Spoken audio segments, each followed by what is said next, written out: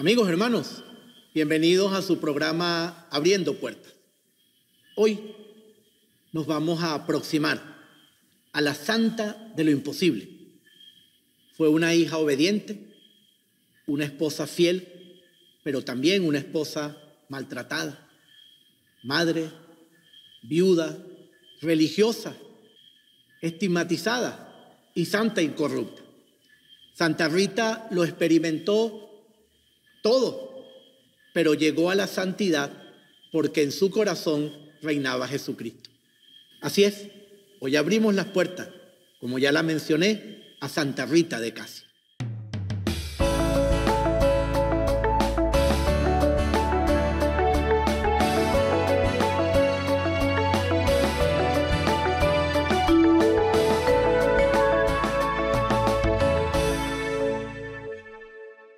Santa Rita de Casia nació en el año 1381, hacia finales del siglo XIV, un año después de la muerte de Santa Catalina de Siena, justamente. La casa natal de Santa Rita está cerca del pueblito de Casia, entre las montañas, a unas 40 millas de Asís, en plena Umbría, esa región que queda en el centro de Italia. Su vida comenzó en tiempos de guerras, terremotos, conquistas, rebeliones. Países invadían países, ciudades atacaban a ciudades cercanas, vecinos se peleaban con los vecinos, hermanos contra hermanos. Los problemas del mundo parecían más grandes que los que la política y los gobiernos podían resolver. Ese es el contexto en el que ella nace. Ese es el contexto de su tiempo. Sus padres eran unos devotos cristianos, Antonio Mancini y Amata Ferri, a los que la gente los conocía como los pacificadores de Jesucristo. ¿Por qué? Porque los llamaban para eso, para apaciguar peleas entre los vecinos. Ya dije que era un tiempo difícil y estos padres devotos prestaban este servicio desde la fe. Según una tradición, desde que Santa Rita era bebé, mientras dormía en una cesta, abejas blancas se agrupaban alrededor de ella y dicen que incluso en torno a su boca y que depositaban en, en la boca de Santa Rita pues la dulce miel sin hacerle daño y sin que la niña llorara para alertar pues a los padres de lo que estaba sucediendo. Uno de los campesinos, vecinos de ellos, viendo lo que ocurría, que enjambre de abejas en torno a aquella bebé que estaba en una cesta, él se había lastimado un brazo y venía herido y por eso pasaba por allí. Y al ver aquel espectáculo, aquella situación, quiso espantar a las abejas con ese con su brazo herido y resulta que su brazo se sanó inmediatamente. Es decir, que desde que era una bebé, algo distinto, algo de Dios, algo providencial había en Rita. Ella toda su vida quiso ser religiosa, pero sus padres, pues que ya estaban avanzados en edad, habían elegido un esposo para ella llamado Paolo Ferdinando, lo cual, a decir verdad, el tiempo demostraría que no fue una decisión muy sabia. Pero Rita pues obedeció a sus padres y aceptó aquel matrimonio.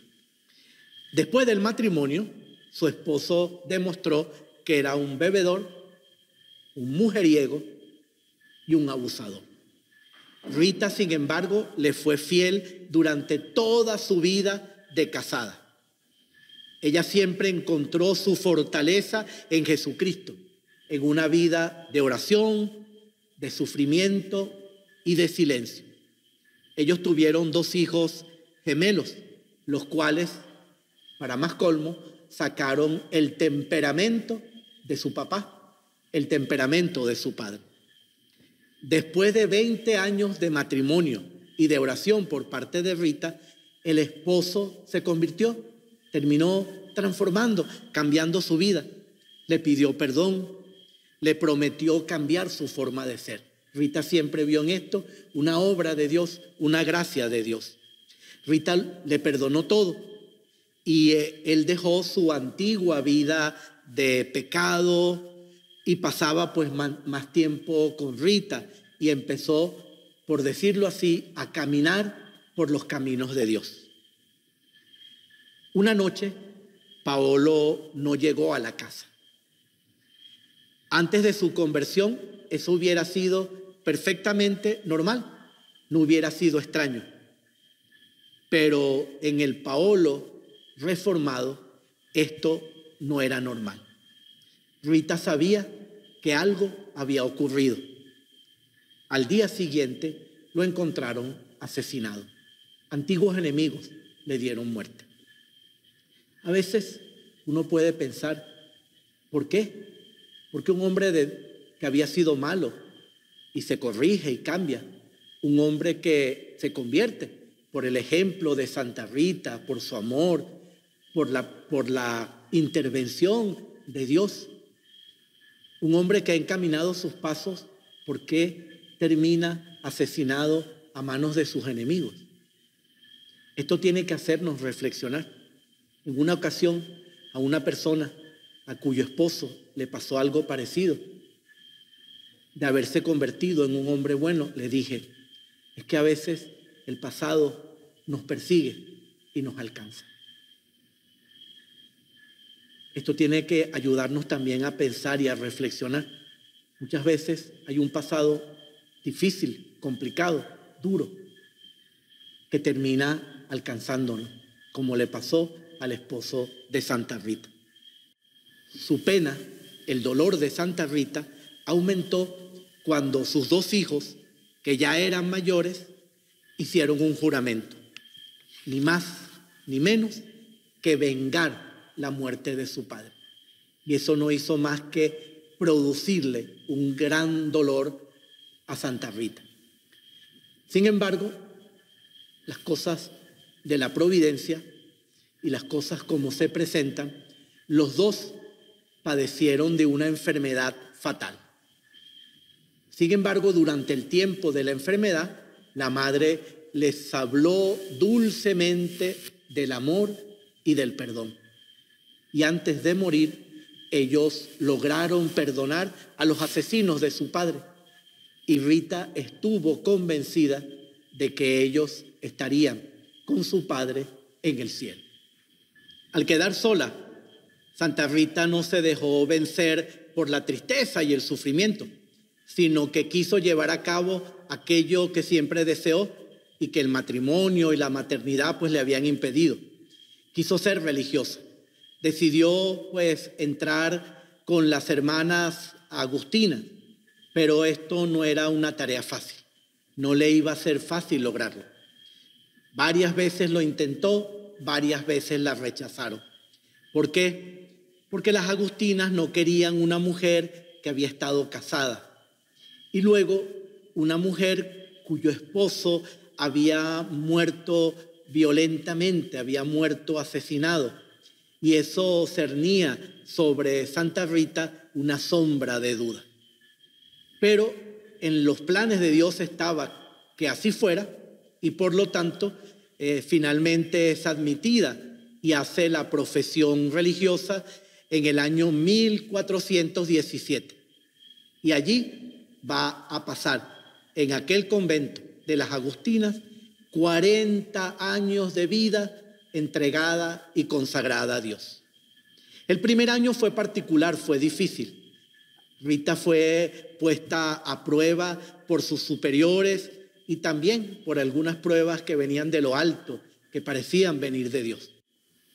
Sin embargo, como religiosa fue un ejemplo para todos en términos de sus mortificaciones, en términos de su eh, vida intensa espiritual y que además era reconocida por la eficiencia de sus plegarias, de sus oraciones. Rita meditaba muchas horas en la pasión de Cristo. Ella contemplaba y meditaba en los insultos, los rechazos, las ingratitudes que sufrió Cristo en el Calvario. Y de esto sucede pues que eh, durante la cuaresma del año 1443, pues fue a Casia a predicar un predicador famoso de aquel momento, Santiago de Monte Brandone, quien dio un sermón extraordinario sobre la pasión de nuestro Señor Jesucristo, que tocó el alma, que tocó el corazón de Rita. Y ella, retornando al monasterio y meditando en aquel sermón, le pidió fervorosamente al Señor que ella quería participar de los sufrimientos de la cruz. Y ahí es cuando recibe los estigmas y las marcas de la corona de espina del Señor en su cabeza. Pero con ella sucedió algo particular que iba a ser también un motivo de rechazo, pero un motivo de acrecentar su santidad, de acrecentar su amor por el Señor. Y es que a la mayoría de los santos que han recibido este don de los estigmas, pensemos en San Francisco de Asís, pensemos en el Padre Pío, quienes han recibido este don resulta que de los estigmas o no sale ningún olor o sale una fragancia especial, que podríamos llamar una fragancia celestial. Sin embargo, no sucedió así con las llagas de Santa Rita. Olían terrible. El olor de las llagas era un olor desagradable. Y por eso tuvo que alejarse de la gente. Casi 15 años pasó así Santa Rita. Los últimos años de su vida fueron de expiación. Una enfermedad grave y dolorosa la tuvo inmóvil sobre su humilde cama, pues durante cuatro años. Ella observó cómo su cuerpo se consumía con paz y con confianza siempre en el Señor. Durante la enfermedad, a petición suya, le presentaron algunas rosas que habían brotado de una manera extraordinaria, prodigiosa, en el frío invierno del pequeño huerto del monasterio de Rocaporena, donde ella vivía. Ella las aceptó sonriendo porque decía que era un don de Dios. En medio de aquella postración, yo le hacía un regalo, aquellas rosas fuera de tiempo, aquellas rosas de invierno. Su muerte acaeció en el año 1457. Tenía 76 años y para todos y para ella su muerte fue su triunfo. En ese instante, la herida del estigma desapareció delante de las hermanas que estaban allí. Y en lugar del estigma apareció una mancha roja con la que a ella a veces se le representa en sus imágenes. Una mancha roja como un rubí, la cual tenía una extraordinaria y deliciosa fragancia. Ella debía haber sido velada en el convento, pero era tanta la muchedumbre, era tanta la cantidad de gente que se necesitó de la iglesia principal y permaneció allí y la fragancia nunca desapareció. Por eso nunca la enterraron. El ataúd de madera que ella tenía originalmente fue reemplazado por uno de cristal. Y allí Santa Rita ha estado expuesta para veneración de los fieles desde aquel entonces. Multitudes acudían y todavía acuden hoy en peregrinación a honrar a la santa. Y la fama de milagros atribuidas a ella fue creciendo a través de los siglos. Y muchos acuden y acudían a pedir intercesión ante su cuerpo, que como dije, permanece incorrupto, aunque eh, está muy deshidratado, pero el cuerpo como tal permanece incorrupto. Rita fue beatificada por el Papa Urbano VIII en el año 1627. El secretario privado del Papa Urbano se llamaba Fausto Cardinal Poli y él había nacido a 15 kilómetros de Rocaporena, es decir, que había sido del lugar del nacimiento de Rita. En virtud pues del recuento de muchos milagros que se habían reportado y debido a su intercesión, en España recibió el título de la Santa de los Imposibles, como nosotros la conocemos. Fue canonizada solemnemente el 24 de mayo de 1900 por el Papa León XIII. Generalmente se le dibuja, se la pinta, se le representa sosteniendo unas rosas o con rosas apoyadas en el piso a sus pies. El día de su fiesta, el 22 de mayo, las iglesias de Santa Rita o las que son regentadas por la Orden de San Agustín en todo el mundo distribuyen rosas a los participantes devotos y durante la misa pues el sacerdote las bendice. Se suele bendecir pues rosa el día de Santa Rita. Amigos, hermanos, tres curiosidades sobre la vida de la santa de los imposibles. La primera es que después de 200 años de la muerte de Santa Rita, algo extraño ocurrió en el monasterio de Casia. Las abejas blancas surgían de las paredes del monasterio durante la Semana Santa de cada año y permanecían hasta la fiesta de Santa Rita el 22 de, mayo, cuando retornaban pues a la inactividad hasta la Semana Santa del año siguiente. El Papa Urbano VIII, sabiendo de lo misterioso de estas abejas, eh, pidió que le llevaran una a Roma, viva, y se la llevaron. Seguramente llevaron varias, ¿verdad? Pues, y, alguna pues sobrevivió a aquel viaje, ¿no? Y él la examinó cuidadosamente. E hizo algo. Le ató un hilo de seda a una de las abejas y la dejó libre.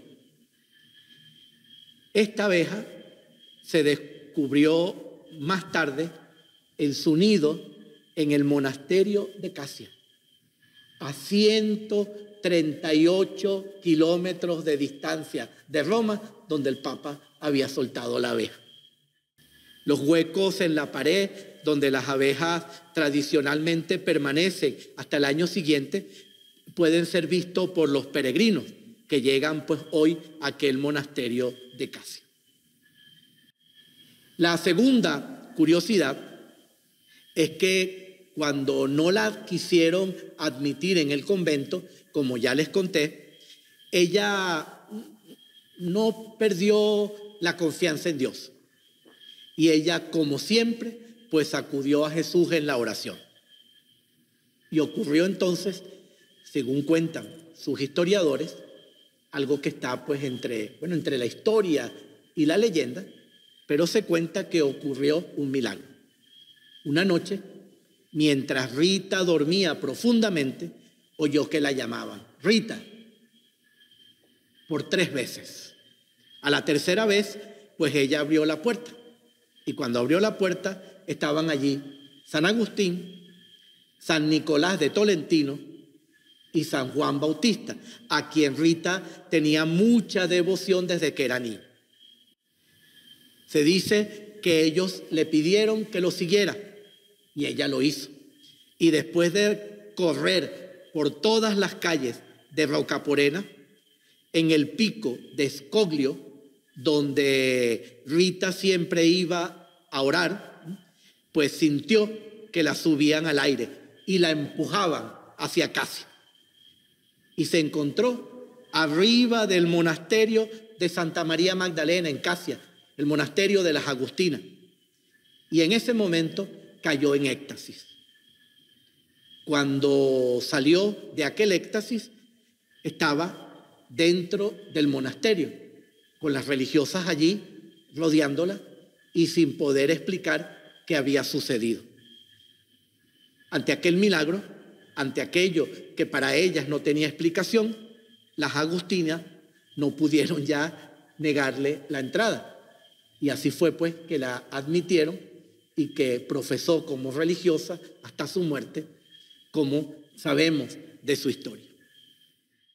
La tercera y última curiosidad es que un día de ese primer año difícil que tuvo Rita al ser admitida en el monasterio, en el convento, pues fue puesta a prueba por la Madre Superiora. Ella, como acto de obediencia, pues aceptó. ¿Qué fue lo que le ordenaron? Le ordenaron regar cada día una planta muerta. La estaban probando. Aquella superiora la estaba probando. Y Rita fue siempre obediente y regó todos los días, como le mandaron, aquella planta muerta. Y lo hizo siempre con buena actitud, de buena manera. Una mañana, la planta se había convertido en una vid floreciente y dio uvas que se usaron para hacer el vino y el vino sacramental, el vino para la Eucaristía. ¿Y saben algo? Hasta hoy, esa vid sigue dando uvas. Amigos, hermanos, esta es la vida de Santa Rita de Casia, la patrona de los imposibles, a quien podemos acudir y encomendar. No se olviden darle al pulgar para decir que este programa les gustó no se olviden darle a la campanita para recibir los avisos de los próximos programas. Suscríbanse al canal y compartan con los demás este programa para que pueda llegar hasta otros y para que otros puedan entonces también disfrutar y crecer en el conocimiento de los santos que de ayer a hoy nos hablan y nos enseñan. Los bendiga Dios en el nombre del Padre y del Hijo y del Espíritu Santo. Amén. Santa Rita de Casia, patrona de los imposibles, ruega por nosotros.